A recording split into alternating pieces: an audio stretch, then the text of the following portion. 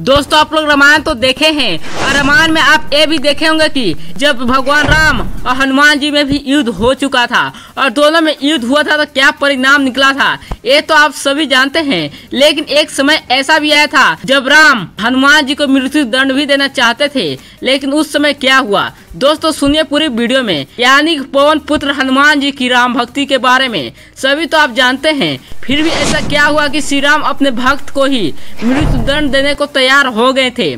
एक बार सभी संत, महर्षि और ब्राह्मण एक सभा में उपस्थित हुए थे। देव ऋषि, नारद, गुरु वशिष्ठ, महर्षि विश्वामित्र चर्चा करने लगे थे कि क्या राम का नाम भगवान श्री राम से बड़ा है। संकट मोचन राम हनुमान जी, इस अवसर पर उपस्थित हुए थे। परंतु वह चुपचाप यह चर्चा ध्यान पूर्वक सुन रहे थे। नारद जी का विचार था कि भगवान राम का नाम स्वयं भगवान राम से बड़ा है और यह साबित करने का उन्होंने दावा किया।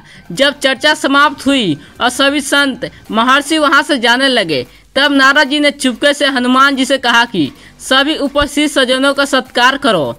सिवाय विश्वामित्र के, दलील यह दी गई कि यह तो राजा है पवन पुत्र ने बारी बारी से सभी का अभिनंदन किया। पर नारा जी ने जैसा समझाया था, विश्वामित्र जी को जानबूझकर कर अनदेखा कर दिया। अपमान देख महर्षि विश्वामित्र क्रोधित हो गए और गुस्से से तिल मिला उठे।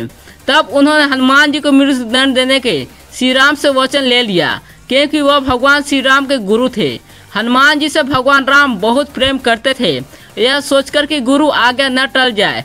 इसलिए श्री राम ने अपने भक्त को मृत्यु दंड देने का निश्चय कर लिया। राम भक्त हनुमान जी को जब पता चला कि श्री राम उन्हें मारने के लिए आ रहे हैं तो वह कुछ समझ नहीं पाए। तब महर्षि नारद ने उन्हें राम नाम जपने की सलाह दी। हनुमान जी एक वृक्ष के नीचे बैठकर श्री राम श्री राम जाप करने लगे। राम धुन लगते ही वह गहरे ध्यान में लीन हो गए। फिर राम ने अपने प्रिय भक्त पर आक्रमण हेतु तीर चलाने का प्रारंभ किए। राम धुन में लीन हनुमान जी का वे तीर कुछ न बिगाड़ सके। कई अस्त्र भी चलाए परंतु वे भी, भी असर रहे। जब श्री राम ने यह देखा तो असमंजस्य में पड़ गए। उन्होंने मन ही मन विचार किया कि जो भक्त मेरा नाम जप रहा है उसका मैं तो क्या कोई भी कुछ नहीं बिगाड़ सकता। उसके बरस बरसते अस्त्र तीर सब विफल हो रहे थे। उधर उन्होंने अपने गुरु विश्वामित्र के वचनों का पालन भी करता था। फिर उन्होंने महाप्रयंकारी, यानी ब्रह्मास्त्र का इस्तेमाल किया, मगर ब्रह्मास्त्र भी हनुमान जी का कुछ न बिगाड़ सका।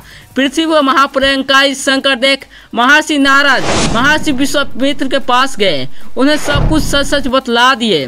इस संकट को देखकर महर्षि विश्वामित्र जी ने अपने शिष्य भगवान जी श्री राम को अपने भक्त के वचनों से मुक्त करा दिया।